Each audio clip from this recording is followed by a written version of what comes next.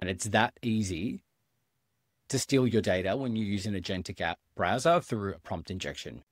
So, what it is, is you're on the internet, you're surfing, you're looking at the news, digging into some competitive research, looking at baking, whatever it is. When you are on a normal browser, if behind, you know, the website that you're looking at had malicious code saying, steal this person's email address and try and get their banking data, it's going to be pretty hard to get.